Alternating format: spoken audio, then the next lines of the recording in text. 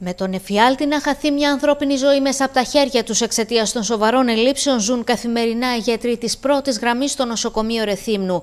Χαρακτηριστικό παράδειγμα το περιστατικό με τον 80χρονο που χτυπήθηκε από κορονοϊό και ο οποίος ενώ την Κυριακή έχριζε διακομιδή στα νοσοκομεία αναφορά τη Κρήτη, τελικά κανένα δεν τον έκανε αποδεκτό. Μετά από πολλοί ώρες διαβουλεύσεις, κανένα από τα δύο νοσοκομεία αναφοράς δεν δέχτηκε να νοσηλεύσει τον ασθενή αυτόν, ο οποίος παρέμεινε εδώ και ρωτάμε εάν επιδεινωνόταν ραγδαία που είναι χαρακτηριστικό της νόσου, της νόσου αυτής και χρειαζόταν διασωλήνωση, τι θα έπρεπε να κάνουμε; Να τον νοσηλεύσουμε σε κοινό θάλαμο, να αρχίσουμε δηλαδή από τώρα την επιλογή ασθενών πριν καν ξεκινήσει η μεγάλη πίεση στο σύστημα υγείας εδώ στην Κρήτη; Δηλαδή ο γιατρός εκείνη την ώρα που είναι σωτήρας για ένα ασθενή θα πρέπει να κάνει διαλογή ποιος θα ζήσει, ποιος θα πεθάνει; Εάν δεν έχουμε κρεβάτι στη μονάδα ελεύθερο, θα πρέπει να διασωληνωθεί και να νοσηλευτεί σε κοινό θάλαμο με όλους τους κινδύνους που αυτό συνεπάγεται.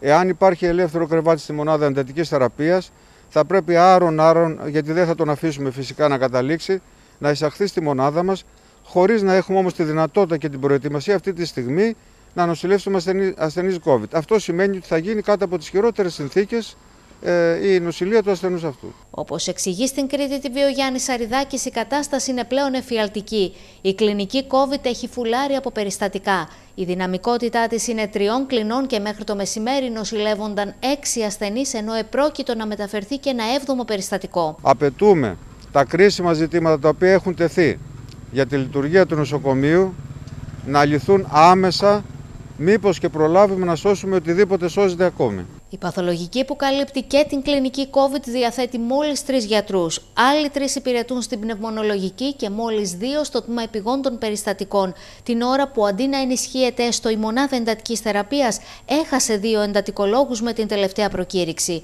Αυτό σε απλά λόγια σημαίνει πως εάν ένας υγειονομικός της πρώτης γραμμής νοσήσει, τότε το δημόσιο σύστημα υγείας στο Ρέθμνο απλά θα καταρρεύσει. Αλλή μονό μας. Ένας γιατρός να προσβληθεί ε, στα περισσότερα τμήματα ή ένας νοσηλευτής κινδυνεύουν να καταρρεύσουν τμήματα. Αυτή τη στιγμή με την παθολογική μας να έχει δύο μόνιμους γιατρούς μόνον και έναν επικουρικό, δεν τολμώ πραγματικά να φανταστώ τι θα συμβεί εάν, εάν ένας γιατρός νοσήσει. Μία κλινική υπερπλήρης και κρίσιμη θα μείνει χωρίς ιατρικό προσωπικό. Οι γιατροί μιλούν για σειρά τραγικών ελλείψεων και καλούν τους αρμοδίους να αφήσουν τα σχέδια επί χάρτου και να δουν κατάματα την πραγματικότητα.